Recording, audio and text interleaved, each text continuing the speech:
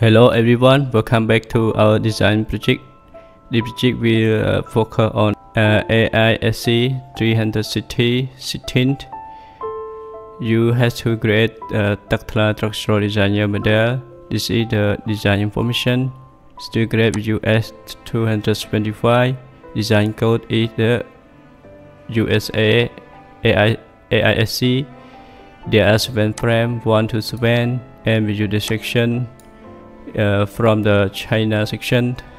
And this is the sea C uh, the, uh, the overall deep OC we, we should do at least uh, the larger section of the rafter over 4 so in the RAV4 we use uh, 600 so 600 over 4 600 example the the largest section of the rafter is 600 divide by 4 yeah.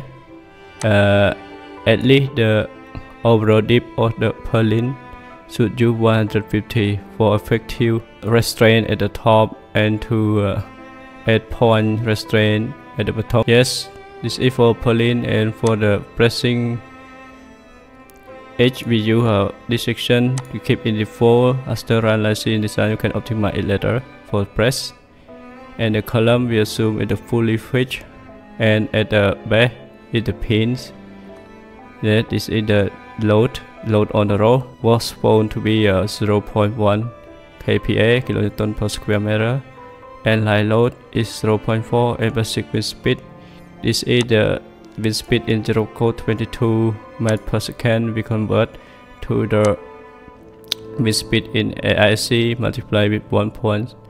Uh, 52 you can read more detail in the medastructure.com about the wind this is the Bangkok Zone 1 so we want to convert from the basic wind speed in the Eurocode to the basic wind speed in the AISC the gas vector 3 seconds and this gas vector is 10 minutes in Eurocode so in the zone 1, 25, you multiply with 1.52.